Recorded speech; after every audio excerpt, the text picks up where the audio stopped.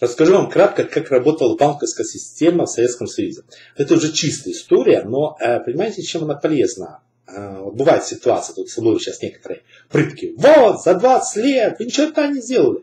Ребята, вы если посмотрели, сколько за 20 лет сделал банковской системе, то бы глупости не говорили. Потому что банк система Украины это шедевр по сравнению с тем, что было в Советском Союзе. Другое дело, что его уничтожаете. Вот смотрите, как работала ну, в общем, банк-система. Во-первых, в Советском Союзе был очень такой интересный анекдот, который давали на засыпку э, студентам с одной технаря. Ну, им читали экономики немножко, и говорите, а назовите э, банки, которые существуют в Советском Союзе. Ну, человек сразу, ну, Госбанк, да, Госбанк был. И, и ошибка. Значит, в Советском Союзе было два банка. Госбанк, СССР, ну, соответственно, СССР, и Нешторбанк. А Щадбанка не было. Он, э, Щадбанк, то, что мы называем Щадбанк, называлась сберегательная касса трудовых э, сбережений населения. Только во времена Горбачева действительно сделал Щадбанк. Не удивляйтесь. А до этого не было. Это был не банк, это была сберегательная касса. Поэтому не банк. Отличалась, причем действительно отличалась. Как это все работало? Вообще, я вам скажу, конечно, вот сейчас надо сложно даже понять. Ну, во-первых, компьютеров не было, не забывайте. А вот смотрите, как это все работало. Пример. А, предприятие трудило продукцию. Трудило, поставило, ну, теперь надо получить деньги. Что происходило? Происходило следующее. Вы отгрузили продукцию, в бухгалтерии печатали так званые платежные требования. Это не то, что не поручение, а требование. Наоборот. Сейчас, самое интересное, вы ее тоже можете использовать, но ее практически никто не пользуется. Что такое требование? Это значит, на бумажке вы печатали название э, предприятия, которое получило с продукцию, все его реквизиты, сумму, договор и, ну, как бы говорить, вот заплатите. И дальше печатали свои реквизиты. Все это собирали. Каждый день бухгалтер, ну, в зависимости, какое предприятие, главный или кто-либо, ездил в банк. А, еще была какая система? Один счет, одно предприятие. Это в одном городе, в одном, ну, бывали исключения, когда филиалы тогда допускался. Как правило, одно предприятие, не счет. Таких вот не было. Вот он берет эти платежки в бумажном виде, привозит, сдает банк.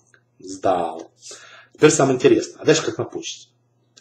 Работники банка брали вот эти вот ваши платежные требования, распределяли. Если это внутри э, клиент был в отделении, они просто другую ячейку ложили, все.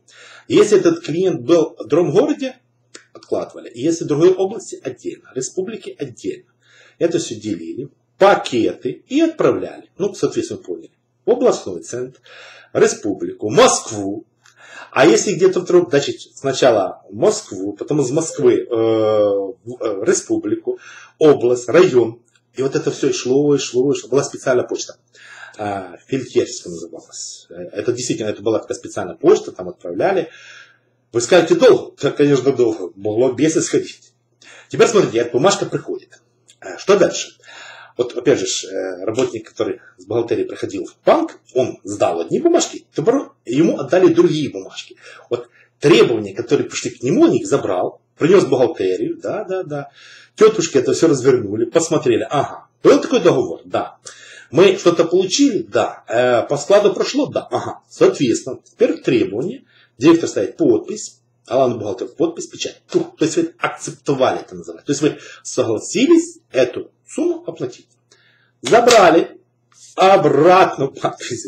Вот тогда банк взял, ага, да, печать, подпись есть, все сравнили, все, это оторвали, ну там несколько всегда было копий, как вы понимаете. Это оторвали, это положили, это оставили, это вам отдали. Все. Теперь дальше банк на основании вот этой вашей бумажки выписывал авизу. Да, да, да, вот. Ну, шлаковиза это как бы бумажка, где банк распечатал на печатной машинке, какую сумму всего, так сказать, отделения списать, или списать с счета предприятия, на счет другую. Все это опять складывали в конверте, и обратно отсылали, и опять республика, область и так дальше. То есть, понятно, если эти предприятия были по всем Советскому Союзу, бывали случаи полгода, не удивляйтесь, полгода ходила платеж. Как куда спишь? Потом, когда она уже приходила, ну, соответственно, в то отделение, где обслуживались, там бухгалтер же посмотрел, ага, все есть, бумажки, все подписи, и делал так званую проводку. То есть он записывал вам на счет, что у вас пришли деньги. Вот так это работало. По этой причине работники Советского банка были самые несчастные люди. Мало того, что они очень мало получали, до удурения мало. ну, скажем так, инженер на заводе получал больше. Представляете, какой был колоссальный объем работы, э, ну, я сказал бы, такой мартышкиного труда. Причем, же не забывайте, теряется какая-то бумажка, это письма, вернуть, что мы потеряли, мы отправляли. Это, а не забывайте, что им каждый месяц надо было сводить баланс, чтобы это же копейки не, нельзя было что терять. Надо было что-то делать если что-то там, ну, ну скажем так, вот что-то не срывать, это, это было бесконечно, то есть люди тонули бумага, то есть на, в конце месяца они ночевали в банке, перебирая эти бумажки. И по этой причине имели минимальную зарплату. По этой причине действительно тогда в банке работать было, скажем, на любитель, очень на любитель. Вот так работала эта платежная. А почему так работало? Деньги никакой ценности не представляли. Понимаете, главное было достать. Понимаете, система довольно была э, простая. Вот вас там женщина приезжает там на склад, перетер взятку дал, договорился, говорит, отгружай, вперед, отгрузи. Деньги вообще никого не интересовали, потому что они, говорили, никакой роли не играли. У вас на счете могут быть миллиард, а вы ничего, а ваш там женщина ничего не достал. Наоборот, вас на счете ничего нет. Плевать, он приехал, договорился, забрал на, на миллиард товар. Деньги, ну через Бог даст, через полгода придут. Понятно? То есть, по этой причине, почему сейчас немножко совершенно бросили, тут каждый за две копейки. Нет. План хозяйства роли такой не играл. Насчет кредита. Значит, смотрите, какая ситуация. Это вообще было интересно. Это же план хозяйства. А, доводили план, сколько кредитов надо выдать а, в течение года. И э, директор, ну там, ну, даже директор банка чаще всего, э, это начальник отделения. Ну, там было это не отделение, контора называлось. То же самое отделение. Вот, к примеру, в Киеве была Киевская контора Госбанк. Чтобы правильно поняли. Ну, она, разница от этого не меняется. Это были несчастные люди. В каком варианте? Они упрашивали, умоляли, э, что на коленях стояли, чтобы директора заводов, колхозов брали кредит.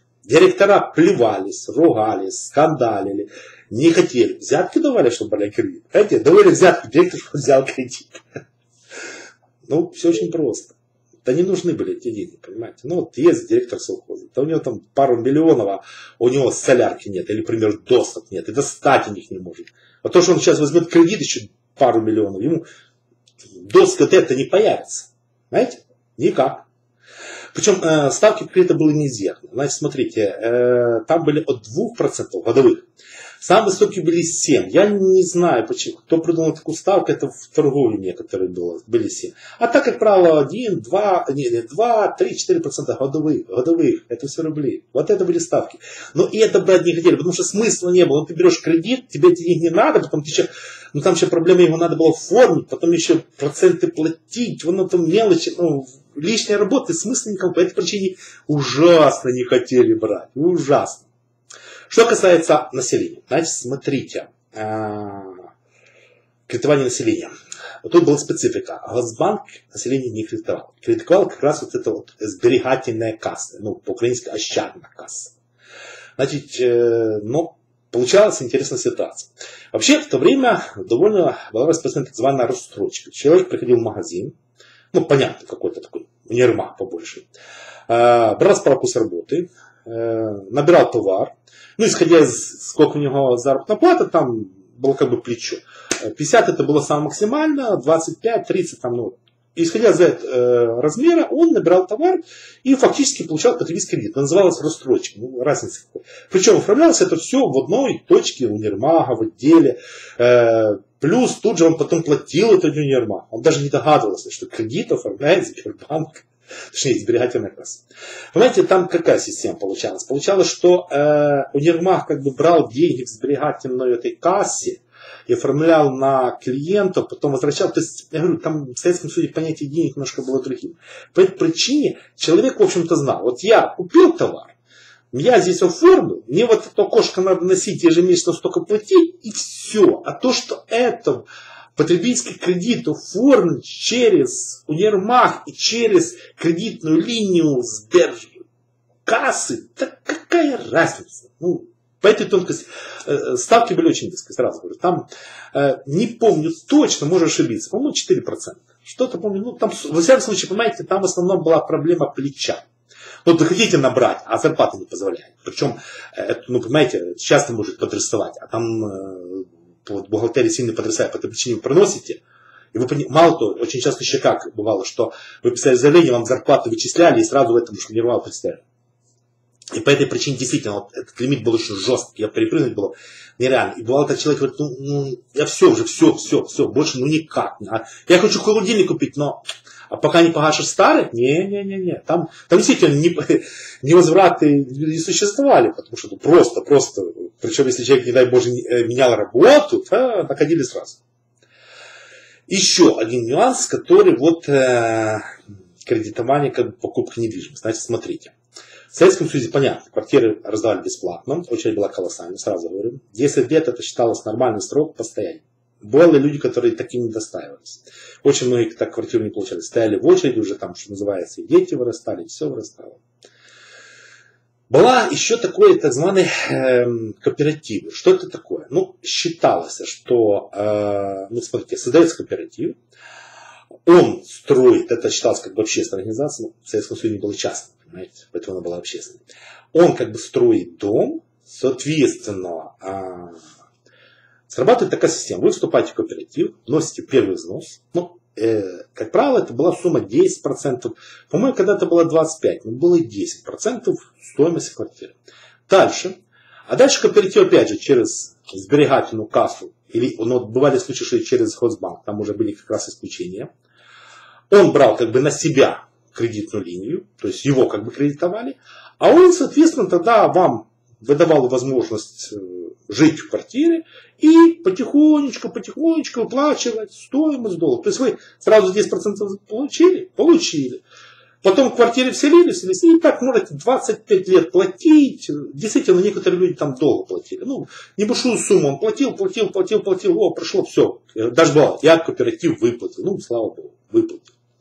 Вот это вот срабатывало. Это фактически новые сказали, да, это кредитование, да. Причем ставка там тоже была мизерная, там 3%, даже были 2%, потом были случаи, когда, по-моему, двое или трое детей вообще проценты не на там. Ну, то есть получалось как? Главное, вот первый взнос вы занесли, э, члены кооператива стали, квартиру получили, а уже сумму то выплатится.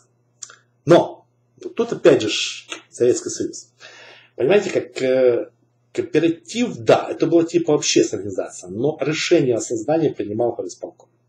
Объясняю. Значит, смотрите, все планируется. Вот э, горисполком планирует на 5 лет, что будет построено в этом городе, там, к примеру, 20 квартир. Из 20 квартир 5 квартир, ну, 5 дом, 20 домов, извиняюсь. Из 20 домов 5 домов может быть кооперативных. То есть 5 домов или 3, как он решит. Больше не будет. По этой причине была очередь на бесплатные квартиры и была очередь на кооперативы. Причем, если бесплатно 10 лет, на кооперативе могут быть 5-7 лет. Да, да. То есть это не то, что вы пришли и все, нет. Там такая же самая очередь. По той причине, что уделяли очень мало. Ну, понятно, что были случаи, какая-то настроится новый город, там быстрее очередь. Но потом, как жить в этом новом городе? Четко в таких местах. Были случаи, когда вам, вас приманили. Вот там да, кооператив есть, но там не работа, ничего не, или работа, но не та, которая вам надо. А вот в Киеве проблема, в Москве проблема. Вот по этой причине, хотя ты считала, что это как бы можно, но до кооператива дорваться было сложно. Было небольшое исключение в 70-х годах. Как-то, ну, вот в Советском Союзе редко что-то менялось. Вот, и цена на кооператив, она как-то была стабильна. В 70-х годах почему-то ее пересчитали. Ну, подняли сумму. И в результате действительно очень многие люди просто физически не могли заплатить первый взнос. Просто не могли. Несмотря на, ну, понимаете, для некоторых людей даже там 2 или 3 тысячи рублей, настоящих рублей. Это было сложно, если зарплата там 112-120 рублей настоящая, я не говорю про это. И действительно были моменты, вот тогда были моменты, когда можно было прийти быстрее запрыгнуть. И некоторые, которые могли где-то взять, там, одолжить или набрыжничать, наспекулировать, срабатывало. Вот в Киеве есть такой район, Русановка, там а, в свое время его строили как раз вот по этой системе, и там практически больше сейчас домов кооперативное. И там действительно был интересный нюанс, когда очень много а, как бы участников с очень интересной национальности и очень интересной профессией. Вот так сложилось. Да, сработало. Вот такая была система. Как видите, сильно отличается. Так что то, что сейчас работает, люди добрые. Это супер. И рассказывают, что вот там они вот вы сделаете вот это и сравните то, что было в Советском Союзе.